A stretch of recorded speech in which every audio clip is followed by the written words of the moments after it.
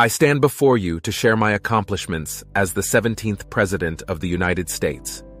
Join me on this journey through my presidency as I reflect on the defining moments that shaped our nation during a critical time of Reconstruction.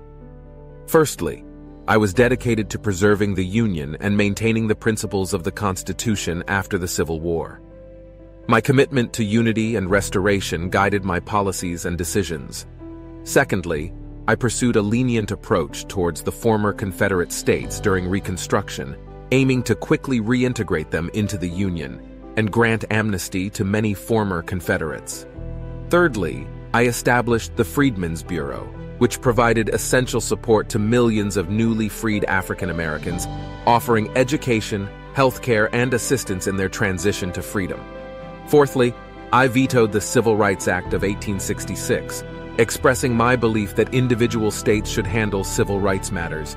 However, this decision was ultimately overturned, leading to the enactment of the 14th Amendment. Lastly, I supported the purchase of Alaska from Russia, known as Seward's Folly. This significant acquisition expanded our nation's territory and later proved to be a valuable addition.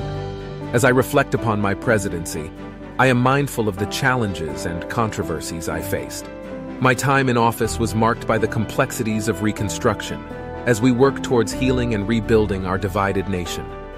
May we continue to learn from history as we strive for a more perfect union, united in the pursuit of liberty, justice, and progress for all Americans.